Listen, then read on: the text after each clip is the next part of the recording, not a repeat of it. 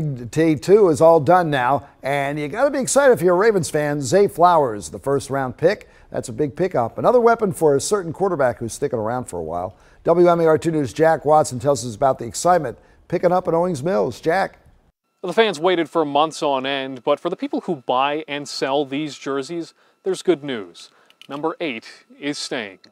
Everybody's excited. I mean, everybody's kind of been holding off um, just waiting for whatever's going to happen. In this town, just say one name, and everyone knows who you're talking about Lamar. And despite a long back and forth with Ravens ownership, he's back on a record setting deal worth as much as $260 million.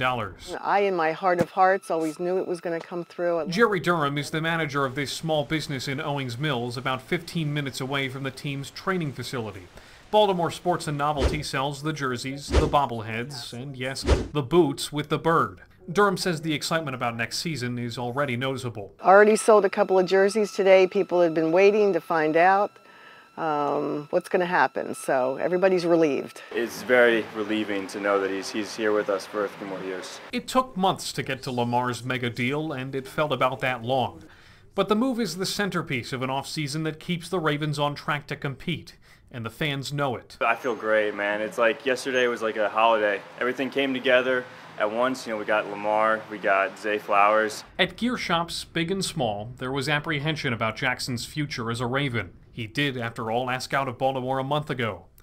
Thankfully, those who sell gear won't have to fret about that. And for fans who doubted whether the team should pay him, Durham says just watch him.